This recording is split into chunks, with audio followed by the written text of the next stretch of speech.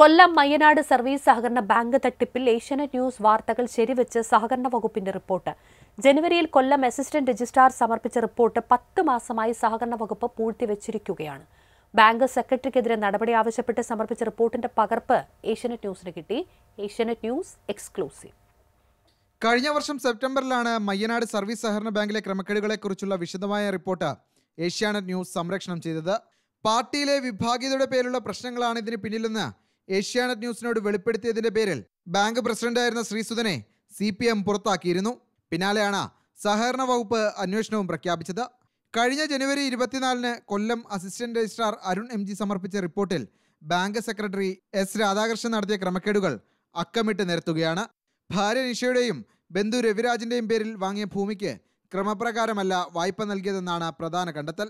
വെറും അഞ്ച് ലക്ഷം രൂപയ്ക്ക് ഇവർ വാങ്ങിയ നിലത്തിന് മുപ്പത്തഞ്ച് ലക്ഷത്തോളം രൂപ വായ്പ അനുവദിച്ചത് നിയമപ്രകാരമല്ല. ഈ വായ്പകൾ ഉള്ളപ്പോൾ തന്നെ രാധാകൃഷ്ണൻ തന്റെ ബന്ധുവായ സുനിൽകുമാറിന്റെ ഇരവിപുരത്തുള്ള നിലം പണയം വെച്ച് നാൽപ്പത് ലക്ഷം രൂപയും തട്ടിയെടുത്തു.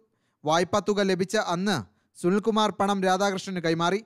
ഇതിന്റെ രേഖകൾ സഹിതമാണ് അസിസ്റ്റന്റ് രജിസ്ട്രാർ റിപ്പോർട്ട് നൽകിയത്. ജി ഡി സി എസ് വായ്പകളിൽ സെക്രട്ടറിയുടെ ഭാര്യയ്ക്ക് ക്രമപ്രകാരമല്ലാതെ വർഷങ്ങളോളം ഇളവ് അനുവദിച്ചതായും കണ്ടെത്തലുണ്ട്. ഇത്തരം വീഴ്ചകൾ വരുത്തിയ സെക്രട്ടറിക്കെതിരെ തക്കതായ ശിക്ഷാ നടപടി സ്വീകരിക്കണമെന്നാവശ്യപ്പെട്ടാണ് റിപ്പോർട്ട് അവസാനിക്കുന്നത്. എന്നാൽ ഈ റിപ്പോർട്ട് ജോയിന്റ് രജിസ്ട്രാറുടെ ഓഫീസിലെത്തി പത്തു മാസമായിട്ടും യാതൊരു നടപടിയും ഉണ്ടായില്ല. C P M Akkarathottam branch secretary കൂടിയായ രാധാകൃഷ്ണന് പാർട്ടിയുടെയും സഹകരണ വകുപ്പിന്റെയും പിന്തുണയുണ്ടെന്ന് വേണം കരുതാൻ. ക്രമക്കേടുകൾ നടത്തിയവർക്കെതിരെ ശക്തമായ നടപടി സ്വീകരിക്കുമെന്നായിരുന്നു അന്ന് സഹകരണ മന്ത്രി അടക്കമുള്ളവർ നൽകിയിരുന്ന ഉറപ്പ്.